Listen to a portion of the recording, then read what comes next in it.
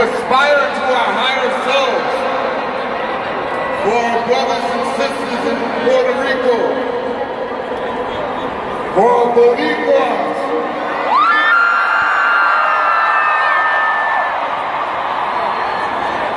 We are ready to be that light, to shine.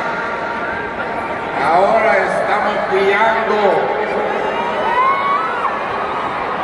Never, never have we faced so many tragedies in such a short period of time.